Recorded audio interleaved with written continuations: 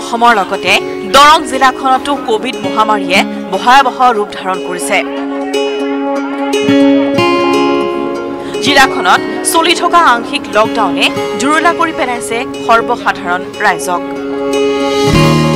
ইফালে যাত্ৰীবাহী বাছ চলাচল বন্ধ হৈ পৰাত চালক আৰু কৰ্মচাৰীসকলৰ পানীত হাঁহ নচৰা অৱস্থাৰ সৃষ্টি হৈছে।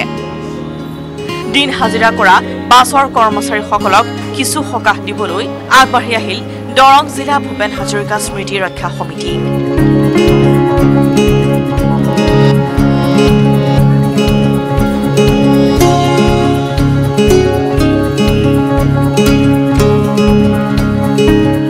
মঙলদৈৰ ভূপেন হাজৰিকা স্মৃতি ৰক্ষা সমিতিৰ উদ্যানত মঙলবাৰে স্মৃতি ৰক্ষা সমিতিৰ সভাপতি তথা প্ৰাক্তন বিধায়ক গুৰুজ্যোতি দাস আৰু সদস্যসকলে শতাধিক ব্যক্তিগত যাত্ৰীবাহী বাছৰ চালক আৰু কৰ্মচাৰীৰ মাজত খাদ্য সামগ্ৰী বিতৰণ কৰে।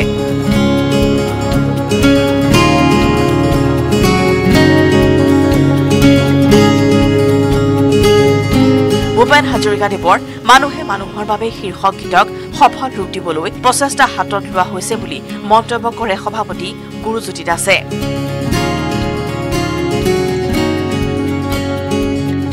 আংশিক লকডাউন আনফালে দেখিবলৈ পোৱা গৈছে। আন্তঃজিলা বাছ সেৱা বন্ধ হৈ আছে। তেনে সময়তে যি বাছ সেৱাৰ লগত জড়িত লোকসকলে বিশেষভাৱে সংকটত পৰিছে আৰু সেইসকলক ভূপেন হাজৰিকা স্মৃতি ৰক্ষা সমিতি দৰঙৰ উদ্যোগত যিসকল বাছ চালক আছে যিসকল হেণ্ডিমেন আছে তেওঁলোকক কিছু খাদ্য সামগ্ৰী বিতৰণ কৰিছে।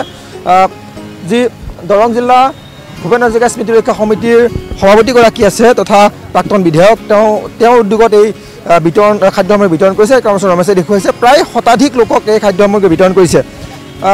যিহেতু সংকট এতিয়া আৰু আনফালে আন্তঃজিলা বাছ সেৱা বন্ধ তেওঁলোকৰ বাছ চলাচল কৰিব পৰা নাই তাৰ কাৰণে। কিছু আপোনালোকক সকাহ দিব চেষ্টা কৰিছে। হয় এই ক'ভিড নাইণ্টিন মহামাৰীত যি আমি পৰিত্ৰাণ পাবৰ কাৰণে চৰকাৰে বিভিন্ন পদক্ষেপ গ্ৰহণ কৰিছে ইণ্টাৰ ডিষ্ট্ৰিক্ট বন্ধ এই বাছ চালকসকলৰ বা বাছ চলিলেও মানুহ বেছিকৈ অহা যোৱা কৰা নাই। আৰু বাছ সেইকাৰণে আমাৰ চালক আৰু হেণ্ডিমেনসকলক বেচৰকাৰী যিসকল আছে তেওঁলোকক আমি কিবা অলপ দিবৰ কাৰণে চেষ্টা কৰিছিলোঁ। দৰং জিলাৰ ডক্টৰ ভূপেন হাজৰিকা স্মৃতি ৰক্ষা সমিতিৰ উদ্যোগত মই নিজে সভাপতি। আৰু আমি গোটেই আলোচনা কৰি ভাবিছিলোঁ যে কিবা অলপ দিলে ভাল হয়। কাৰণ সুদাগন্ধৰ যিটো গীত মানুহে মানুহৰ বাবে ই পূৰ্ণতা নাপাব যদি আমাৰ সমিতিখনে যদি এই দুৰ্যোগৰ সময়ত মানুহক অলপ হ'লেও সকাহ নিদিওঁ আৰু সেইকাৰণে প্ৰয়াস কৰিছিলে। এওঁলোকক কোনো দিয়া নাই। এওঁলোকে কৈছে যে আমাৰ কথা কোনো চিন্তা কৰা নাই। সেইকাৰণে আমি চিন্তা কৰিছিলোঁ। আজি কিছু অলপ অলপ সামগ্ৰী দিয়াৰ ব্যৱস্থা গ্ৰহণ কৰিছিলোঁ। মাস্ক আৰু চাবোন এনেকৈ মিঠাতেল আটা এনেকৈ যিমানখিনি পাৰোঁ দিছোঁ। তথাপি ভাল লাগিছে। আৰু তেওঁলোকে কৈছে যে আমাৰ কথা কোনো চিন্তা কৰা নাছিল। সেইটো আমাতকৈ ভাল লাগিছে। জনাইছোঁ আমি দেখুৱাইছোঁ এইসকল বাছ চালক হেণ্ডিমেন তেওঁলোকৰ লগত কথা বুলি যত্ন কৰিম। আমি কিছু খাদ্য সামগ্ৰী আপোনালোকক সকাহ দিব চেষ্টা কৰিছে। কি? হয় আজি ভাল লাগিছে। আমাৰ যিটো মটৰ শ্ৰমিক সন্থাৰ গাড়ীৰ ষ্টাফ ড্ৰাইভাৰ হেণ্ডিমেন চালক কণ্ট্ৰেক্টাৰ এইকেইজনক দিছে। আৰু আমি ভাল লাগিছে আমি কাৰো পৰা সাহাৰ্য তেনেকৈ পোৱা নাই। আমাৰ বৰ বিশেষকৈ বৰেই অসুবিধা হৈছে কাৰণ আমি গাড়ী যিহেতুকে চলা নাই আমাৰ পানীত হাঁহ নচৰা অৱস্থা হৈ গৈছে। আমাৰ বিধায়ক শ্ৰী গুৰুজ্যোতি দাস দেৱে তেওঁ যিহেতু আমাক অলপ সাহাৰ্য কৰিছে অতি আনন্দিত হৈছোঁ। আৰু আশা ৰাখিছোঁ যাতে এনেকৈ ভৱিষ্যতেও পাওঁ। কি ক'ব? হয় মানে আমাৰ যিজন আহ, মঙলদৈ বেচৰকাৰী মটৰ শ্ৰমিক সন্থাৰ তৰফৰ আমাৰ যিটো তাৰমানে আপোনাৰ ভূপেন হাজৰিকা সমাধিস্থৰ যিটো কমিটি তেওঁলোকে যিটো আমাৰ গুৰুজ্যোতি দাস মানে প্ৰাক্তন বিধায়ক আছিলে। তেওঁ যিটো সাহাৰ্য দিছে সাহাৰ্যৰ কাৰণে আমি নথৈ আনন্দিত। কিন্তু আমাৰ মানে এই দুৰ্যোগৰ সময়ত তেওঁ যিখিনি সাহাৰ্য সেইখিনি বহুত মানে নথৈ আনন্দিত। দুই নম্বৰ কথা আমাৰ মানে পানীত হাঁহ নচৰা অৱস্থা হৈছে। কিন্তু চৰকাৰে কিন্তু আমাক আজিলৈকে কোনো সাহাৰ্যৰ প্ৰতি গুৰুত্ব দিয়া নাই। যিবিলাক আপোনাৰ ধৰক এতিয়া ৰিক্সাৱালা হওক গায়ক হওক বা সিহঁতক যিবিলাক ঘৰ কণা সুৰা চবকে দিছে তেওঁলোকক দিয়াৰ আমি বাধ্য। কিন্তু আমাৰো অলপ আমাৰ দেখি চৰকাৰে আমাক চাব লাগে। কিন্তু আমাৰ মানে খুবেই অৱ- অৱস্থা খুব বেয়া। কাম কৰিব গ'লেও আমাক কোনো কামত নলয়। আমি কি কেনেকৈ চলিছোঁ তাৰ চৰকাৰে কোনো সাহাৰ্য প্ৰদান কৰিবৰ কাৰণে একো বিচৰা নাই। কিয় বা বিচৰা নাই কিন্তু ইলেকশ্যনৰ টাইমত কিন্তু বাছখিনি চালকখিনি খুব দৰকাৰ হয়। কিন্তু এতিয়া ইলেকশ্যন যোৱাৰ পিছত কিন্তু আমাক কিয় নিবিচাৰে তেওঁলোকে? তেওঁলোকে লকডাউন দিছে লকডাউন মানিছোঁ আমি তেওঁলোকৰ কথা মতেই মানি গৈছোঁ। কিন্তু তেওঁলোকে আমাক চাব লাগে। সেইটো গতিকে আমি সেইকাৰণে ক'বলগীয়া চৰকাৰক আহ্বান কৰিছোঁ ধন্যবাদ জনাইছোঁ। আৰু এইসকল বাছ চালক শ্ৰমিক মটৰ শ্ৰমিক সন্থাৰ লোক আৰু কৈছোঁৱেই যিহেতু দুৰ্যোগৰ সময় আংশিক লকডাউন আনফালে আন্তঃজিলা বাছ সেৱা বন্ধ হৈ আছে। তেনে সময়তে কিন্তু এই বাছ চালক হেণ্ডিমেন যি বাছৰ লগত জড়িত লোকসকল তেওঁলোকে কিন্তু যথেষ্ট সমস্যাত পৰিছে এই দুৰ্যোগৰ সময়ত।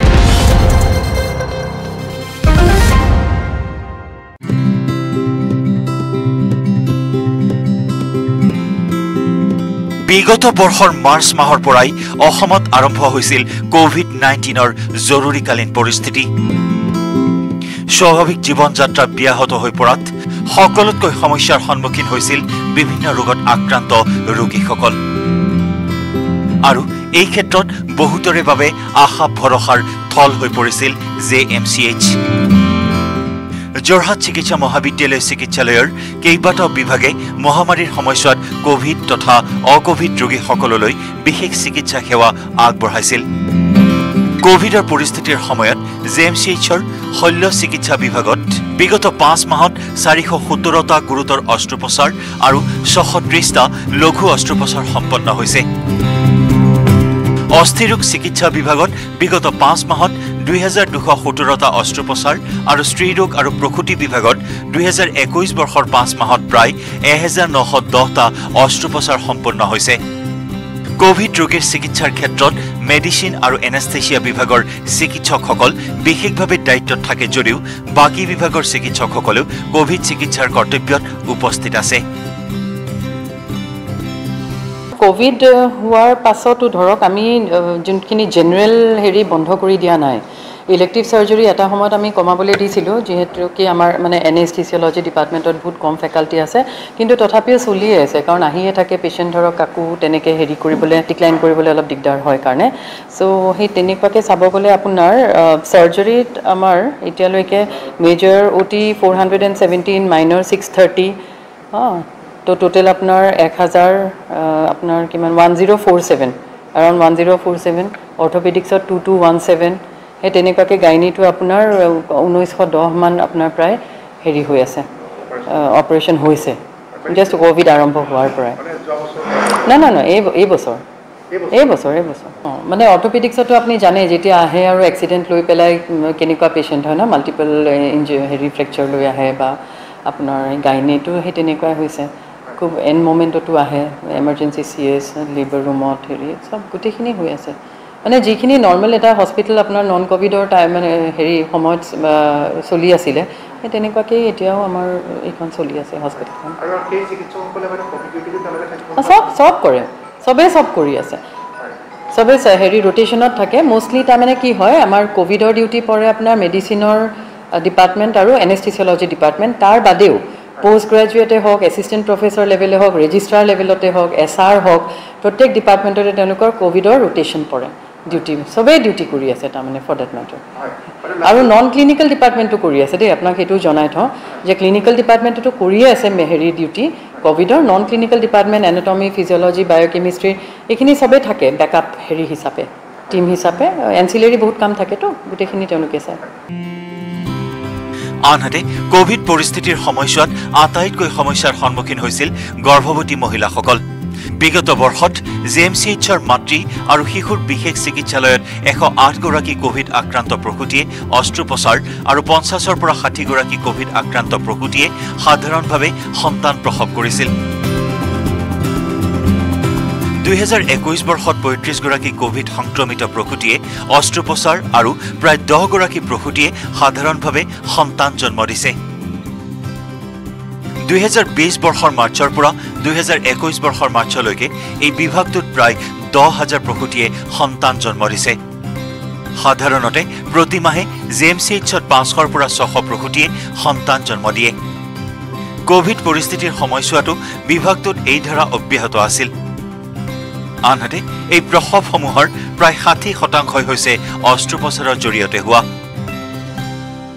যোৱা বছৰৰ যদি আমি হেৰিখিনি চাওঁ ডাটাখিনি তেতিয়াহ'লে যোৱা বছৰ আমাৰ এশ আঠটা চিজাৰেন হৈছিলে ক'ভিডত আৰু সেই সেই ধৰণে ধৰক পঞ্চাছ ষাঠিটা আমাৰ নৰ্মেল ডেলিভাৰী হৈছিলে তাতে। কিন্তু এই বছৰ এতিয়ালৈকে আমাৰ পঁয়ত্ৰিছগৰাকী চিজাৰেন ছেকশ্যন হৈছে আৰু দহগৰাকীমান নৰ্মেল হৈছে কিন্তু ডেইলি আমাৰ বাঢ়ি গৈ আছে। অঁ ক'ভিড হয় সেইখিনি ক'ভিড হয়। এনেই যদি আপুনি বছৰত চাই তেতিয়া ন হাজাৰমান আমাৰ ডেলিভাৰী হয় চিজাৰেন নৰ্মেল মিলি পেলাই বছৰত। আৰু মাহত ধৰক ছশ পাঁচশ এনেকুৱা এতিয়া হৈছে। অলপমান কিন্তু আগতকৈ ডেলিভাৰীটো আমাৰ কমিছে। কিন্তু হ'লেও হৈ আছে মানে দুটা তিনিটাকৈ নৰ্মেল বা চিজাৰিয়ান ক'ভিডতো হৈ আছে। টোটেল যোৱা বছৰটো আপোনাৰ ন হাজাৰ দহ হাজাৰৰ ভিতৰত হৈছে। আমি মাৰ্চৰ পৰা মাৰ্চলৈ যদি চাওঁ ডাটাটো ন হাজাৰ নশমান হৈছে। নৰ্মেল আৰু মানে ক'ভিডত আৰু নন ক'ভিডত দুই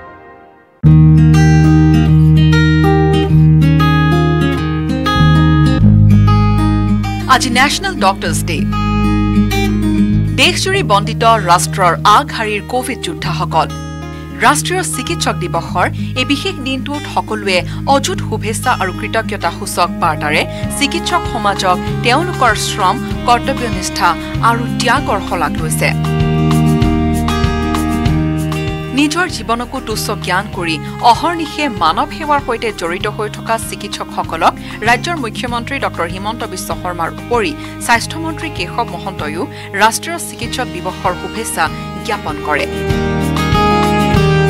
কোভিড মহামাৰীৰ দৰে জটিল পৰিস্থিতিৰ মাজতো এইসকল চিকিৎসকে দিনক ৰাতি আৰু ৰাতিক দিন কৰি যি অবিৰত সেৱা আগবঢ়াই গৈছে সেয়া অনস্বীকাৰ্য।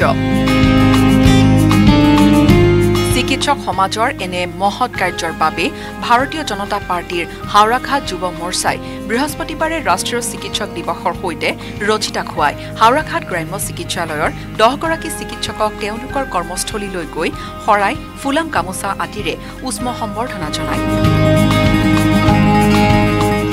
কাৰ্যসূচীত কাৰ্বি আংলং স্বায়ত্তশাসিত পৰিষদৰ স্বাস্থ্য বিভাগৰ কাৰ্যবাহী সদস্য খনসিং ৰংপিউ উপস্থিত থাকি স্থানীয় চিকিৎসকসকলক ৰাষ্ট্ৰীয় চিকিৎসা দিৱসৰ শুভেচ্ছা জ্ঞাপন কৰি তেওঁলোকৰ শ্ৰম আৰু ত্যাগৰ শলাগ লয়।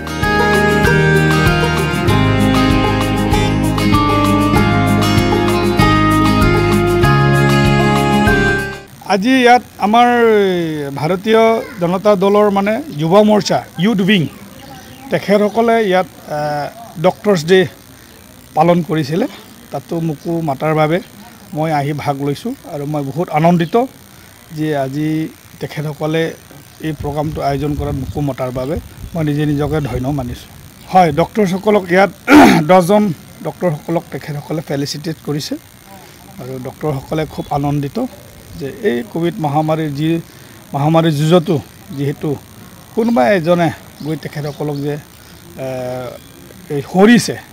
সেইবাবে তেখেত ডক্টৰসকলে খুব আনন্দিত।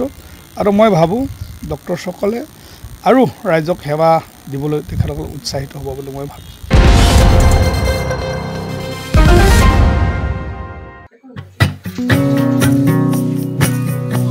প্ৰস্তুতি চলিছে।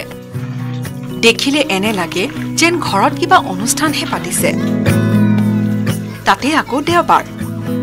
কিন্তু ঘৰৰ গৰাকী ডক্টৰ আসমা বেগমৰ সৈতে কথা পতাত ওলাল প্ৰকৃত সত্য। বিভিন্ন ব্যঞ্জন পায়স মিঠাইৰ এই বিশাল আয়োজনৰ আঁৰৰ কথা বেলেগ। লকডাউনৰ সময়ত পৰিয়ালৰ পৰা আঁতৰত থাকি দিনে নিশাই কৰ্তব্য সমাপন কৰি থকা আৰক্ষীৰ লোকসকলক দেওবাৰৰ দিনা এসাঁজ খোৱাৰ বাবে আসমাৰ ঘৰত চলিছে এই আয়োজন। দেওবাৰৰ দিনটো সকলোৱে পৰিয়ালৰ সদস্যৰ সৈতে একেলগে এসাঁজ খাব বিচাৰে। কিন্তু কৰোণা কালৰ এই দিনকেইটাত কৰ্তব্যৰ তাগিদাত আৰক্ষীৰ লোকসকল আছে ঘৰৰ পৰা আঁতৰত। সেয়ে এইসকল আৰক্ষীক কিছু উদগনি যোগোৱাৰ উদ্দেশ্যৰে আসমাই গ্ৰহণ কৰিছে এই পদক্ষেপ।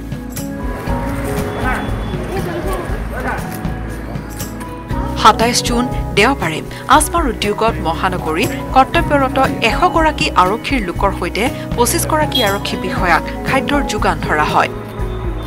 প্ৰসংগক্ৰমে উল্লেখ কৰিব পাৰি যে ইয়াৰ পূৰ্বে লকডাউনৰ সময়ত বন্ধ হৈ থকা মন্দিৰসমূহত থকা বান্দৰ বা অন্যান্য প্ৰাণীৰ বাবেও নিয়মীয়াকৈ খাদ্যৰ যোগান ধৰিছিল। Doctor আসমাই bureau report news eighteen Assam north east.